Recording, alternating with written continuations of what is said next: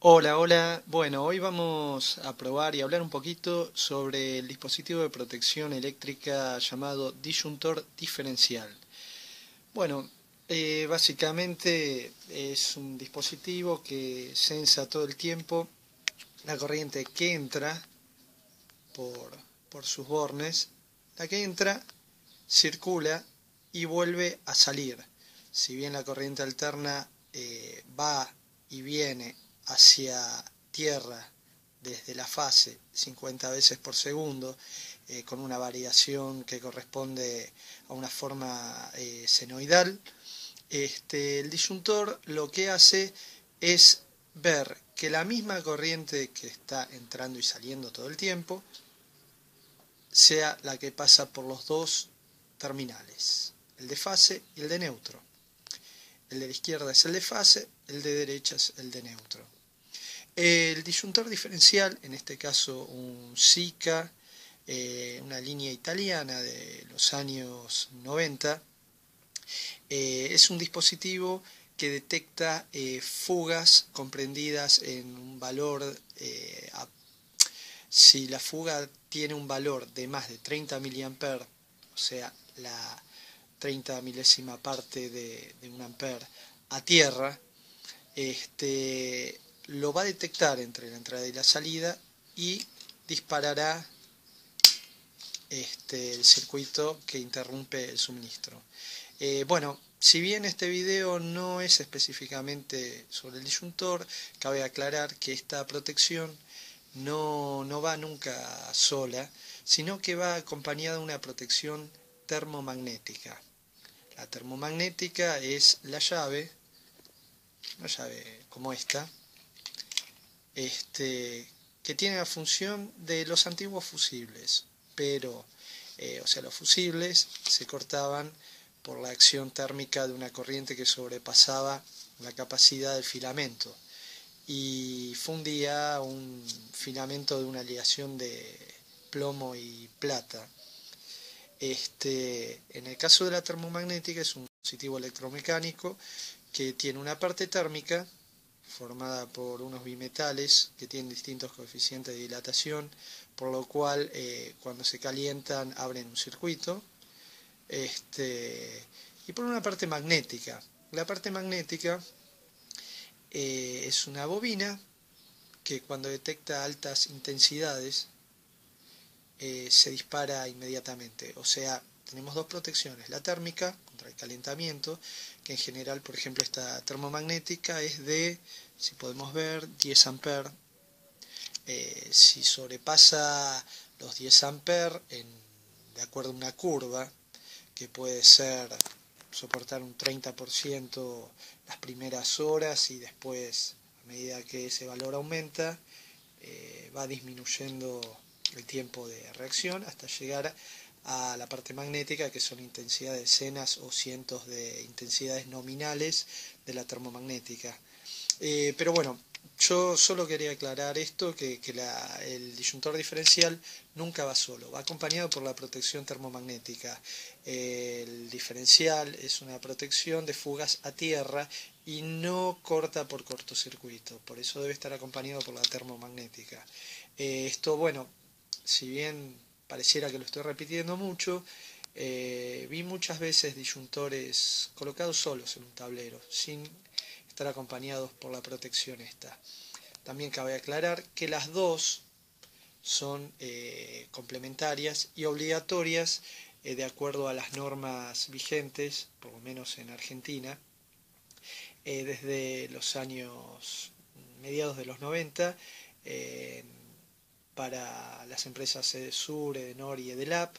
Y bueno, eh, obligatorio en cuanto a que un electricista que hace una instalación tiene que firmar que está todo en orden y por supuesto que el tablero está compuesto por estas protecciones.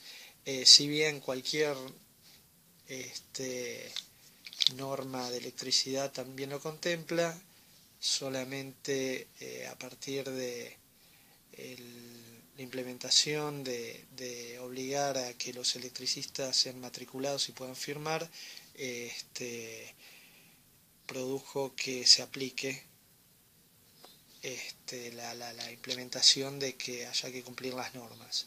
Antes era muy normal ver una instalación sin, disyuntor, solamente con una termomagnética.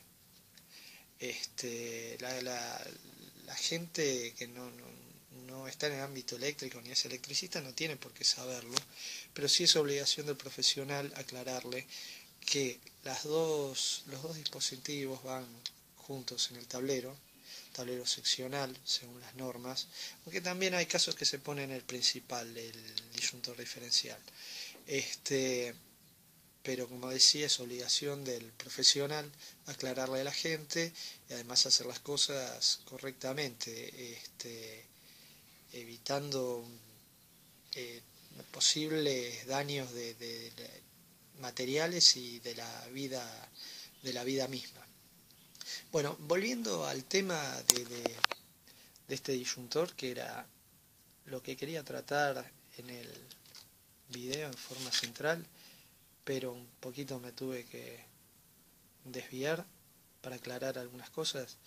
Este disyuntor, supongamos que está prendido, está conectado a una zapatilla, que ahí vamos a prender, una lámpara que uso como testigo, entrada al disyuntor, o sea, está llegando 220, está conectada en paralelo la lámpara. El disyuntor tiene un botón que de testeo, que es este, generalmente marcado con una T. Es muy importante que este botón sea pulsado una vez por mes, incluso lo dice. No, no llega esta cámara a hacer foco, pero acá arriba dice pulsar eh, mensualmente. Si este botón lo apretamos, la palanquita esta se bajará, por lo cual no habrá tensión entre estos bornes.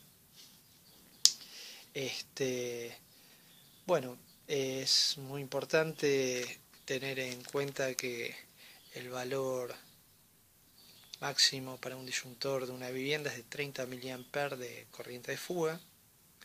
Este, y después tiene una capacidad nominal que es de 25 40 amperes, en este caso 40 amperes, que es lo que puede soportar de corriente que pase por el tablero. No tiene nada que ver con la corriente de fuga. Así que, bueno, era mi intención hacer un pequeño video tutorial sobre esto y aclarar algunas dudas. Muchas veces eh, la gente no no tiene por qué saberlo, pero el profesional sí, y hay muchos eh, gente inescrupulosa que lucra por ganar un poco más, eh, no pone disyuntores en las instalaciones a pesar de que son obligatorios, cuando no tienen que firmar y es una reparación o hacer un tablero. Cuando la, la obligación profesional, ética y, este, moral es informarle como mínimo al cliente qué es lo que hay que hacer en forma correcta. También es importante aclarar que tanto todo material eléctrico debe estar normalizado, por lo cual tiene, tiene que tener un, sello que sea que indique que sea IRAM o eh, CE de la Comunidad Europea. Esto también es tomado en cuenta por las normas vigentes. Bueno, espero que esto le sirva a alguien y nos veremos en otro video. Muchas gracias.